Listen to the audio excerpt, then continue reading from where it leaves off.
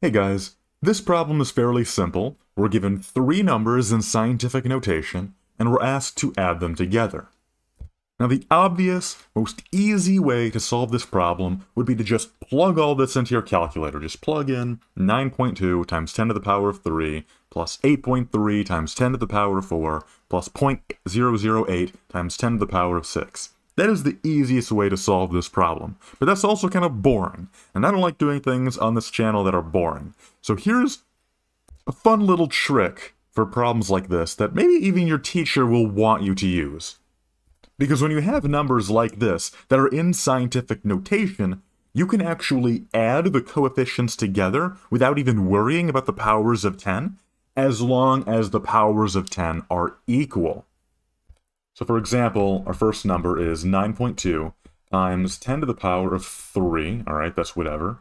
Now, we can add this to 8.3 times 10 to the power of 4 by simply adding the coefficients if the powers were the same, which in this case they're not. 1 is 3 and 1 is 4.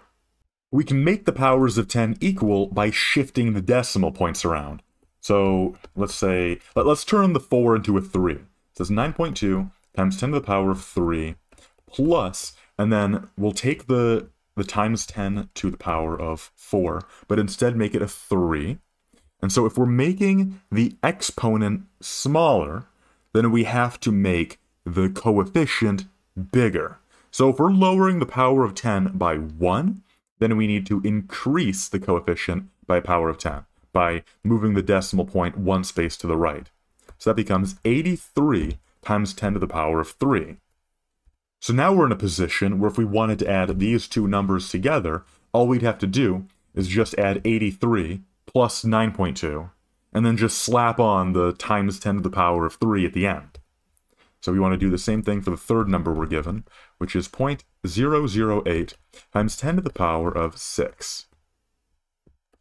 So again, we can lower the power, we can lower the 6 to a 3 so that we can just add the coefficients.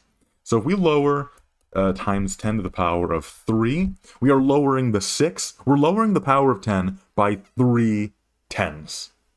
So to keep this valid, we need to raise the coefficient by the power of 3 tens. So by moving the decimal point 1, 2, 3 spaces to the right.